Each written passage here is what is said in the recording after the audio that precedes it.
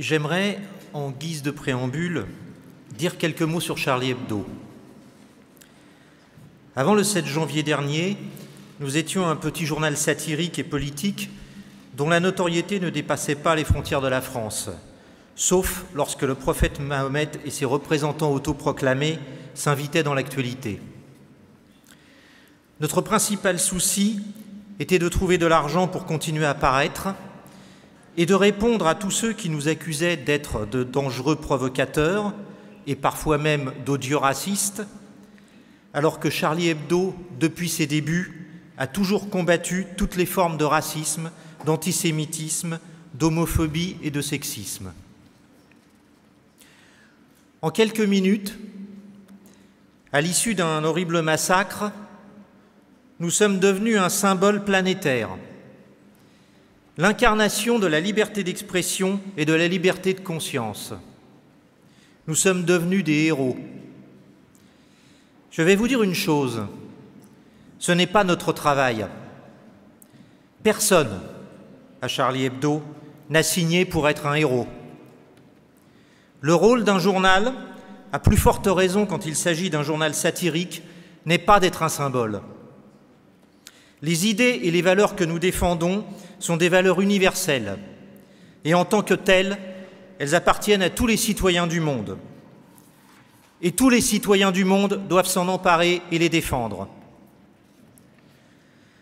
Depuis l'affaire des caricatures de Mahomet, on ne cesse de parler de religion et de respect du sentiment religieux. C'est une grave erreur, car ici, il est plus question de politique que de religion. Prenons un exemple. Quand l'armée égyptienne tirait sur les partisans de Mohamed Morsi en juillet 2013, RIS avait dessiné une couverture sur laquelle on voyait un frère musulman s'abritant derrière un exemplaire du Coran et traversé par une balle avec ce commentaire. Le Coran, c'est de la merde, ça n'arrête pas les balles. Ce dessin est-il blasphématoire? Non. Est-il une insulte à tous les croyants? Non. D'abord parce qu'en France, dire de quelque chose que c'est de la merde, ce n'est pas très poli, mais c'est très courant. On le dit souvent à propos de beaucoup de choses pour signifier que ça ne fonctionne pas ou que c'est très mauvais. Dans l'absolu, on a le droit de dire que le Coran, c'est très mauvais. Le Coran est un livre. On a le droit de dire qu'un livre, même estampillé saint, est très mauvais. On a le droit de le dire du Coran, de la Bible, de la Torah, du Mahabharata. Dans le cas qui nous intéresse, c'est encore plus vrai, car ici, le Coran est d'abord un programme politique. Le slogan des frères musulmans est très clair sur ce point. Il dit L'islam est la solution, le Coran est notre constitution. Aucune ambiguïté possible. Les frères musulmans, en Égypte comme en Tunisie, ne voit pas le Coran comme un ouvrage religieux, comme un guide de conscience intime, mais bien comme un instrument de contrôle politique et sociétal. Même chose pour les rois et les émirs du Golfe ou les mollahs iraniens. C'est leur petit livre rouge. Dire que le petit livre rouge est de la merde n'est pas offenser ou discriminer tous les Chinois. En démocratie, un programme politique n'est pas sacré, il peut et il doit être critiqué, discuté, moqué. Et rien n'interdit de le dénigrer, même violemment. Vous avez, je suppose, chez vous, comme chez nous, des partis politiques qui, ne se privent pas de dire que le programme du parti concurrent, c'est de la merde, et réciproquement, sans que, cela ne choque quiconque. Le Coran, lorsque l'on décrète qu'il doit servir de fondement à un État, lorsqu'il devient un instrument de régulation de la société, est soumis au même traitement que toutes les autres plateformes politiques. Il en va de même pour la Bible lorsqu'elle est brandie par les fous furieux du Tea Party. Il en va de même pour la Torah lorsqu'elle sert de colonne vertébrale au parti religieux israélien. On a certes le droit de dire qu'il s'agit de la vérité révélée, mais on a aussi celui de dire que c'est n'importe quoi. Et cela n'a rien à voir avec le racisme, ni avec le blasphème. Si l'on veut protéger les saintes écritures, quelles qu'elles soient, des remarques désobligeantes et des colibets, il ne faut pas les placer au centre de l'arène politique, où elles perdent tout caractère sacré, car tout y est discutable et sera un jour ou l'autre discuté. C'est le fondement de la démocratie. Et ce fondement, dans le cas du discours religieux, est protégé par la laïcité. Cette fameuse laïcité qui nous est si chère à Charlie Hebdo. Quelques mots d'explication pour que vous en compreniez l'esprit. Pour assurer la liberté de religion, le modèle anglo-saxon, qui vous est plus familier, dit que l'État ne doit pas intervenir dans les affaires religieuses. En France, c'est l'inverse. La religion ne doit pas intervenir dans les affaires de l'État. Les principes qui régissent la loi de 1905 sur la séparation des églises et de l'État sont contenus dans ces deux premières phrases. La République assure la liberté de conscience, ce qui implique la liberté de croire, mais aussi la liberté de ne pas croire. La deuxième phrase, c'est la, la République ne reconnaît, ne salarie, ni ne subventionne aucun culte. En France, il n'y a pas de religion d'État. L'État est athée et la religion n'est pas une affaire de citoyenneté, mais une affaire intime. C'est fondamental. Si un, État laïque n'est pas forcément démocratique, il ne peut y avoir de démocratie sans laïcité. Seule la laïcité permet le plein exercice de ce système politique qui n'est certes pas parfait, mais qui présente un avantage précieux sur tous les autres. Il sait justement qu'il est perfectible, ce qui en fait le seul cadre dans lequel une société peut espérer évoluer. La démocratie pose, entre autres principes, que toute loi est discutable et qu'aucune n'est intangible. Or, la loi divine se proclame immuable par essence, gravée dans le marbre, éternel, non soumise à la critique ou à la remise en question. Elle est donc incompatible avec la démocratie. Elle l'est d'autant plus que Dieu, dès lors que l'on accepte son existence sur le terrain politique, est un tyran, un tyran indéboulonnable. Un dictateur finit par mourir, une junte par être destituée. Il est très difficile de destituer Dieu. Ceux qui y croient continueront à y croire quoi qu'il arrive. Il est donc inacceptable qu'ils franchissent les portes extérieures de ces églises, mosquées, synagogues, ashrams, pagodes et autres temples. Un dictateur, un bourreau, n'a pas forcément besoin de la religion pour piétiner la démocratie et commettre des crimes de masse. Mais aucun État qui fonde son autorité sur un dogme religieux n'échappe à la tentation totalitaire. Le Vatican n'est pas une démocratie. Et on a pu observer depuis quelque temps que le désormais président turc Recep Tayyip Erdogan ne se soucie plus d'apparaître modéré. Dès lors qu'on soumet la société à une loi qui tire sa légitimité d'un être suprême, toute espérance de, de démocratie et d'égalité est illusoire. Et toutes les formes de terreur et d'oppression sont possibles. La religion a toujours été le meilleur alibi pour purger un État de ses impurs, qui est le nom œcuménique des opposants. Pour, que s'exerce la pour que s'exerce la démocratie, la parole divine et l'existence même d'une quelconque entité mystique supérieure doivent impérativement être exclues du débat public. C'est précisément ce que permet la laïcité, qui dit qu'un citoyen ne se définit pas par sa religion. Parlons maintenant du blasphème. Il faut non seulement revendiquer et défendre le droit au blasphème, mais également affirmer qu'il est universel et nécessaire à l'exercice de la liberté. Qui plus est, il est indispensable aux croyants. La foi en Dieu ne va pas sans blasphème. Et au fond, seuls les croyants blasphèment. Pour insulter quelqu'un ou quelque chose, ou même pour s'en moquer, il faut être convaincu de son existence, de sa réalité. Les athées ne blasphèment pas. Ils disent bordel de Dieu comme ils disent bordel de merde, machinalement. Et quand ils dessinent, peignent, filment des divinités dans des positions embarrassantes, ils ne font rien d'autre, rien de plus qu'ils ne feraient avec l'image d'un roi, d'un président, d'un ministre. Le blasphème n'est rien d'autre que l'expression de la contestation du pouvoir. C'est pourquoi il est idiot de prétendre qu'il puisse être vécu comme une offense à l'égard de l'ensemble des fidèles. D'abord parce qu'ils en font eux-mêmes un large usage, ensuite parce qu'on ne se sent offensé que lorsqu'on insulte, que l'insulte ou la moquerie vise ce qui nous est personnel ou intime. Or, le blasphème n'attaque pas le Dieu intime de chaque croyant, mais la figure publique de Dieu. L'incarnation du dogme censé s'imposer à tous.